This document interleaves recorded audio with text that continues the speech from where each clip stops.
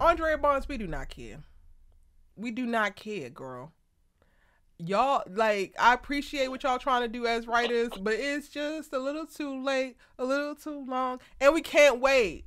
You dated Gary Borders, the most diabolical demon that has ever walked the Atlanta streets. This same man who is having sex with every single woman, flying just out, doing all types of stuff, running Ponzi schemes, pushed a hostile takeover at your actual law firm, removing Robin from his seated position as a partner, and you want me to give a shit about uh Jordan maybe sleeping with an underage white woman as well as how it pertains to your career when it has nothing to do with you. You are literally in the demon that got one of the partners removed and you ain't give a damn. You ain't give boo about your reputation then.